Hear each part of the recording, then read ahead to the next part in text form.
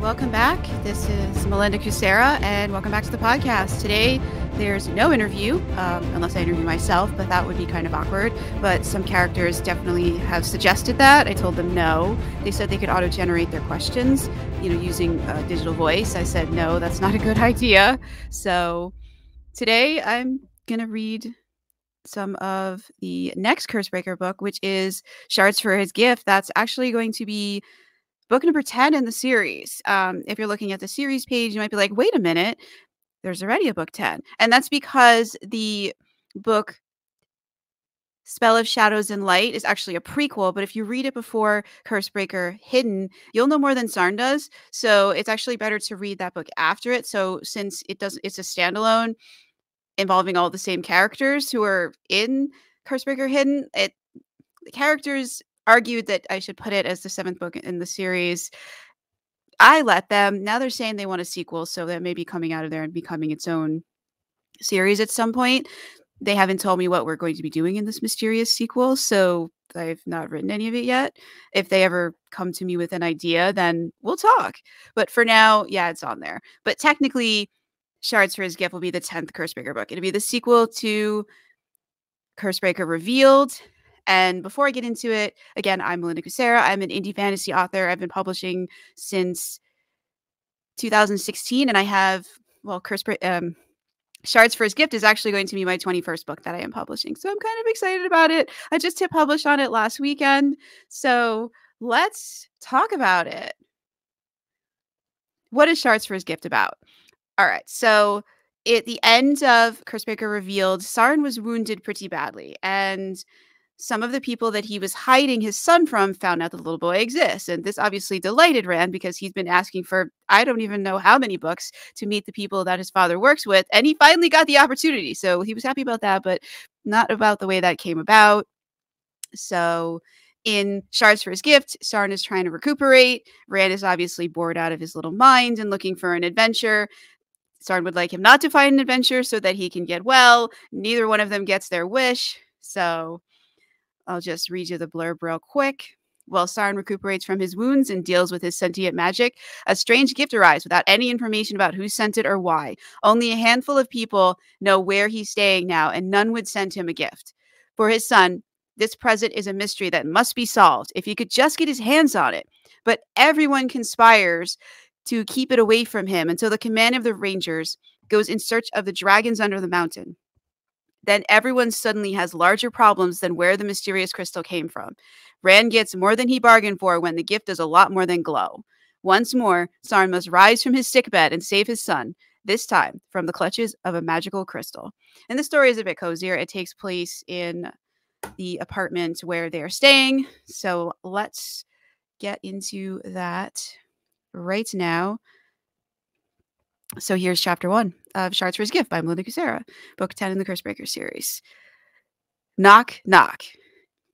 Rand opened the door, but the hallway was empty. Aside from the statues frozen in fight sequences scattered about, they glared at him with glowing crystal eyes, but Rand ignored them because they did that every day. Pairs of halo wearing statues flanked the door too, but they weren't fighting or staring at him. Those statues just looked at each other, but they didn't knock on the door. Statues couldn't do that. So who knocked? Rand glanced around again in case he missed something. Bluish light shone down on him from the Lumiere crystal mosaic on the ceiling high overhead, as movement caught his eye. Either a shadow flitted around the bend, or he just glimpsed the mysterious knocker. Even if the knocker ran, could they reach the bend in the hallway without him seeing them? The shadow was small, so it might just be a cat running away when it heard him open the door. A cat a cat could have run behind the statues, and you wouldn't have seen it. Where did the knocker go? Rand glanced around the woman's statue cradling a male statue that would have slid off her lap if he wasn't made of stone. Another statue answered him. Neither statue answered him. Rand listened, but he just heard a faint echo of footsteps in the main transept. I could go to the bends and look, but that meant leaving Inari and Nolo's flat, and he wasn't supposed to do that without Papa or Uncle Myron. I won't do it. Papa got hurt really bad the last time I went out without permission. It was my fault Papa got hurt. Rand gripped the door. It was an inch thick and made of the same stuff as Nalthir's door, but it wasn't wood. Uncle Myron said all the wood in Shiari was enchanted, and that was why the door wasn't made of wood. No one ever said what the door was made of, but it was hard like wood and striated too. Maybe the door was made of stone? What are you doing? Nerul asked from behind him. He was Inari Nolo's son, and he was a bunch of years older than Rand and a bunch of years younger than Uncle Myron, but he seemed like a nice boy. I heard someone knock at the door, so I went to see who it was, but there was no one out here when I opened the door. Rand swung the door wide open to show him. See? Nerul looked more like his dark skinned father than his mother, but he was more talkative than his dad. Nolo brooded a lot, but he had an important job, according to Uncle Myron. Inari was always sunny, and some of that sunniness had rubbed off on her son because he was smiling. Why was he smiling? I see. What's that on the doormat? Nerul pointed. Rand spun and stared. There was a shiny blue box on the mat. That wasn't there when I opened the door. A ribbon wrapped around the box, and someone tied it in a big bow that tickled his fingers when he reached to pick up the gift. I never saw a box like that before. The box shimmered in the Lumiere crystal light like it was a crystal, but it would be cold and hard if it was, and the box wasn't like that. It must be for your family. That was the only logical that was only logical since Nerul's parents owned the apartment. Who was it for? It's probably not for me. Only a few people know I live here. None had visited, but Rand hoped Furball would since Nothair's flat was just on the other side of this floor. But Furball might be grounded after their little adventure went awry a few days ago. We were just looking for Savine so we could meet his mom and find out what happened to the baby dragon. Rand hung his head. He still couldn't believe an adult dragon lived somewhere under the mountain, but his friend was a baby dragon, so his mom couldn't be anything else because that wouldn't make sense. Besides, Shiari was a magical country. If it could have mages, then why not dragons too? I still want to meet her. But Rand shuddered at the thought of descending to lower quarters again. That's where everything had gone wrong three days ago. Who's the gift for? Nerul rounded the couch, but he left his door ajar. The mysterious gift was interesting, was more interesting than finding out what was in his room, so Rand stayed in the doorway, unsure about what to do now. I don't know. I don't know how to read yet. Rand pointed to the card tucked under the bow. Can you read it? Rand hoped so, because otherwise he'd have to disturb Uncle Myron, and he didn't want to do that. His brave uncle needed to rest and stop worrying about Papa. I'll worry about him since he got hurt to save me. I'll worry about him since he got hurt to save me. Rand glanced at the door across from Uncle Myron's, and worry weighed him down. The door was also ajar because he didn't close it when he raced to the front door.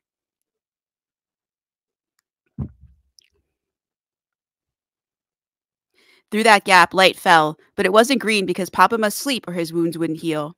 So that light came from the window or a Lumiere crystal since Papa hated darkness. Yes, I go to school like your uncle. Let me see it. Nerul took the gift from his nerveless hands before it could fall and studied the card. It's for you. Rand opened his mouth, but no words came out. For a moment, he knew how Papa felt when words failed him. Who sent me a gift? Does it say on the card? Because the only people who gave him things were in this flat, so they couldn't have left it on the doorstep. Besides, it wouldn't make sense for them to leave a gift out there when they could just hand it to him. I only have two friends, Furball and Savine, but they wouldn't leave a gift and run. They would have waited until I opened the door and at least said hello and maybe came in for a cup of milk and a cookie. Ren Inari always had cookies. Rand glanced at the kitchen, which lay beyond the couches in the living room, and the dining table and its chairs. I don't deserve a cookie. Not when Papa couldn't eat anything but gruel until his until the wounds in his stomach healed. Will you open it and see what's inside? Nerul held the box out. He was much taller than Rand, but that made sense since Nerul was like double his age or something. Yes, but it's a pretty package, so I must be careful. Rand hurried to the couch and left the apartment door open. Nerul closed it, then followed him. Do you want help with that? Sure. Rand plopped onto the couch. It was nice living in a place with furniture to sit on, and it had windows, too, that overlooked the meadow spreading from the rocky feet of Mount Eredrin. Their previous two homes, a damp cave in the lower quarters, and Nothair's cramped apartment, didn't have much furniture. Nothair's flat had windows, but not as many as Inari's and Nolo's, and flat. Light shined in through the kitchen window and spotlit a napkin covered plate. A pitcher of tea stood next to it, but Rand wasn't hungry. Not when he had a mystery on his hands. Another couch faced this one, but no one sat there now. A blanket covered the place where Papa bled through the red stained gauze wrapped around his waist. Was that only three days ago? It felt like more time passed. A bad person stabbed him twice, Uncle Myron said the other day. But Rand wasn't supposed to know that, since he listened in when his uncle explained what happened to, Nar- to Nolo and Inari. Then Papa was unconscious and couldn't explain anything, so that task fell to his brother. Papa's in big trouble because of me. Rand stared at the box on his lap as other things he'd overheard since coming here rattled around in his mind and heart. I wish I'd I wish I'd known about the boy sooner. I'd have found him a good home. Nolo said just last night, but Inari stayed silent. Rand blinked when tears blurred the present sitting on his lap. It was taller and wider than his two hands side by side. I don't deserve this gift. Rand set it on the low table between the couches. Nerul sat opposite him and leaned forward. Why not? You've only been here for a few days, but you were very good during that time. Not good enough. Rand hugged himself as tears slid down his cheeks. Worry, wrap- worry wrapped hot hands around him and squeezed. What if Papa didn't get better? If I was better, then Papa wouldn't be hurt right now. That's not true. Those people were bad. They would have come after your father at another time. Uncle Myron opened the door on the other side of the living room. You were just in the wrong place at the wrong time, and they took advantage of that. But it wasn't your fault. Do you really think so? Rand rubbed his eyes as Uncle Myron sat next to him. Yes, I do. You're the best little boy in the world. Uncle Myron put an arm around his shoulders and gathered him in for a hug. Rand leaned into his brave uncle. What about Papa? Will he? Rand broke off, unable to say the word, but he must know, even if the answer scared him. No, your father's a fighter. He'll get better. It just might take a while since we don't know how much healing that ghost could do through the Ranger's medic. But it didn't sound like Uncle Myron believed that. Nor did he smile. He wore the same serious expression as always, just minus the furrow in his brow because he wasn't doing schoolwork right now. But he regarded Rand steadily with his warm brown eyes, and that dared him to hope his uncle was right.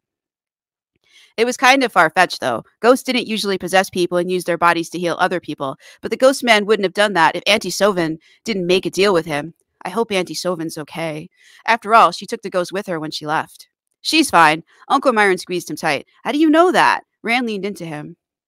She can walk through walls. Trust me, she's fine. Uncle Myron rested his chin on his head, and he was probably right. Auntie Sovin was a tough lady, but she always seemed a bit lost. Don't take this the wrong way, but is your aunt an angel? I'm only asking because she had wings and a halo, and only angels have that. Nerul held both hands up in surrender. Oh, right, he saw her because the healing and making a deal thing happened in this apartment, while Papa lay right where Nerul sat. Rand blinked to clear his sight. Yes, she is. It's a long story how she got that way, but I remember enough to tell you if you want, just not now. Rand wiped his eyes on his sleeve and felt a bit lighter since he let the sadness out. Papa always said it was a good idea to do that. Bottling things up just made you feel worse, or so he said, and he was always right. Rand glanced at the door to the room where Papa rested. What's this? Uncle Myron picked the gift off off the table and studied it. It's a present, and Rule says it's for me, but it doesn't say who it's from. Rand no longer felt like opening it. He stared at the door he left partially ajar. Was Papa really healing like Uncle Myron said?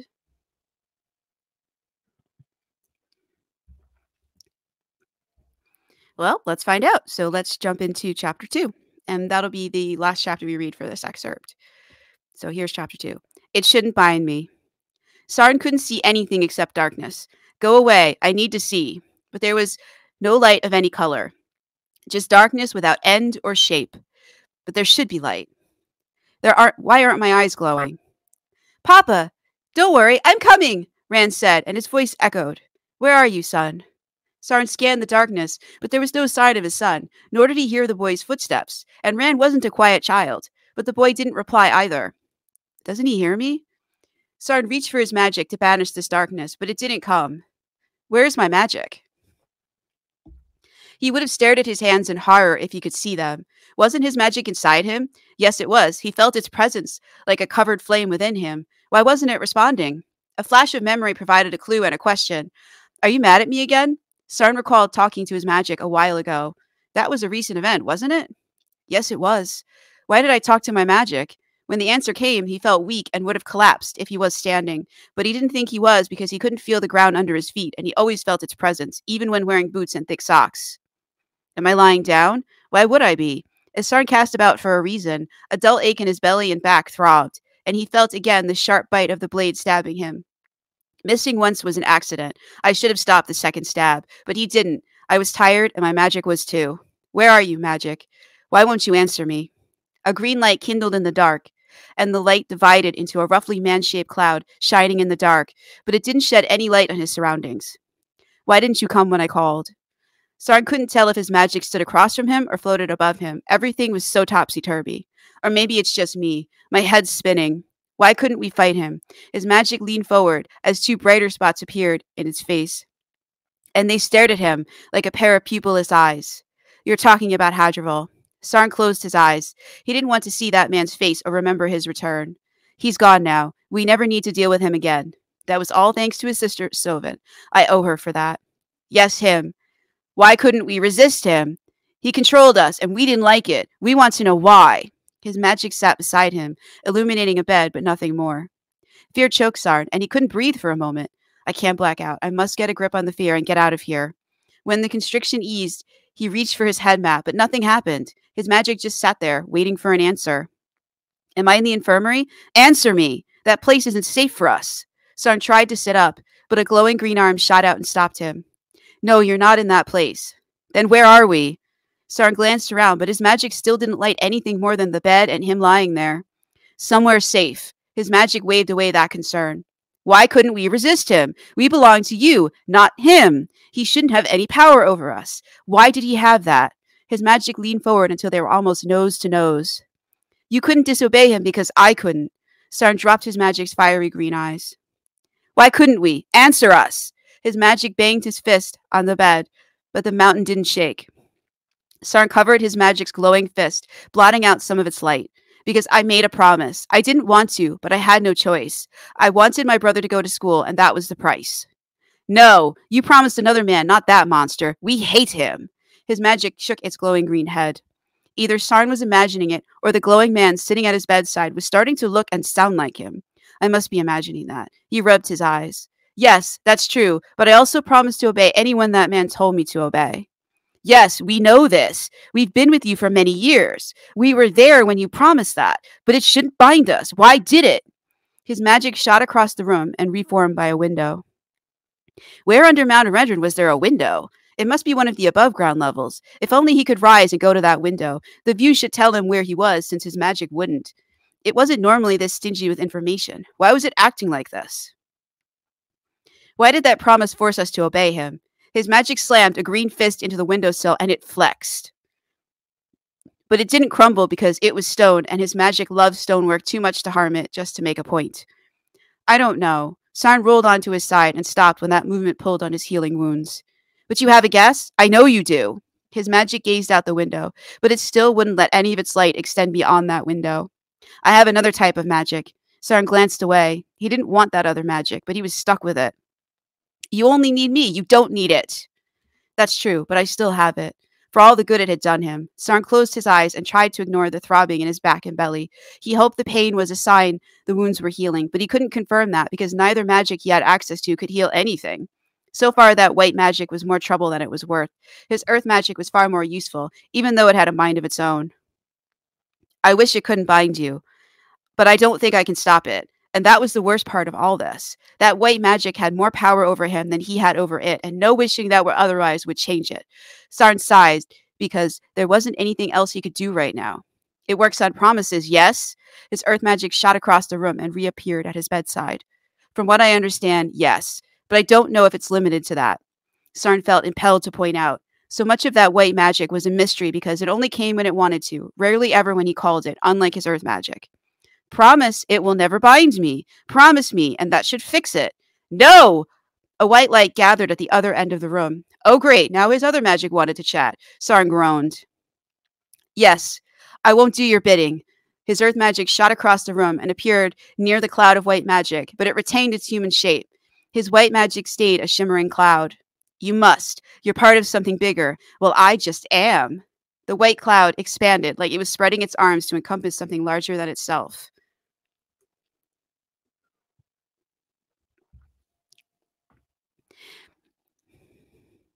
His earth magic raked the white cloud with a glare. Well, you can't have him. He belongs to me. We are an earth mage, not whatever you are. The glowing green man gestured to Sarn.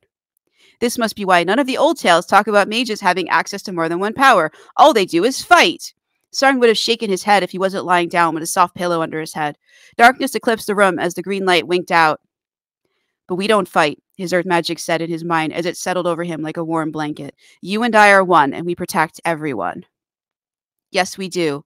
Sarn opened his eyes, and that familiar green glow wreathed his sight as it illuminated the bedside table laden with a pitcher, a glass, and covered dishes. There was a closet, a writing table, and a padded chair like the ones in the library in the corner by a small table with a book on it. But something else caught his gaze. Above a dresser, a mirror hung on the wall, and it reflected the glow of his eyes back at him. Where am I? Who had enough money to buy a real mirror? He felt the silver coating the glass from across the room. It called to him. What do I look like now? It had been years since he dared to look upon his face. What must I look like after so many trials and tribulations? Were his scars still vis- visible? Part of Sarn didn't want to know, but the rest was curious. He'd seen Rand's face countless times and wondered about his own. Everyone said they looked st- startlingly alike. And I don't look like my mother. Neither did Sovin, though. But she was his twin sister, so she should look like him. Sarn almost laughed at himself for framing it that way when she was the elder of the two of them, and she liked to remind him about that at every opportunity. But he sobered as the mirror beckoned to him. If I look in that mirror, will I see myself or the face of the father I never knew? Running footsteps, running footsteps startled him out of his thoughts. Sarn put the question aside. His body felt heavy, though some of the dizziness faded when his magic stopped interrogating him. Perhaps he'd just lie here since he didn't have the energy to rise. He could look in the mirror later if he dared, or not at all. I don't have to look. I've had this face for 20 years and only a vague idea of what I look like. Sarn rolled slowly and painfully onto his other side to face the door as it swung wide open and a small shadow rushed in. So we're going to leave Sarn right now. And we're going to leave Shards for a gift right now. So that was a preview that you heard of Shards for his gift. It's now available in all stores. I just published it last week and the last of the links just straggled in. There is no audiobook yet for it, except for one that is narrated by the digital voices that Google offers. Um, I would love for it to have an audiobook narrated by a human, but um, I'll get there eventually. It's it'll just take some time. So I hope you'll check it out. I'll have all the links in the description along with the, the blurb. And yeah, I hope you've enjoyed listening to an excerpt of Shards for His Gift, book 10 in the Cursebreaker series. And it will be followed by Chasing Dragons. That will be book 11, and we will finally resolve the Dragon Jurlo thing that's been going on for four books now. So that's something exciting to look forward to. Wherever you are, um, I hope you have a great day or evening. And again, I am Linda Kucsera, your indie fantasy author, and you've been listening to an excerpt from Shards from Gift. Have a good one.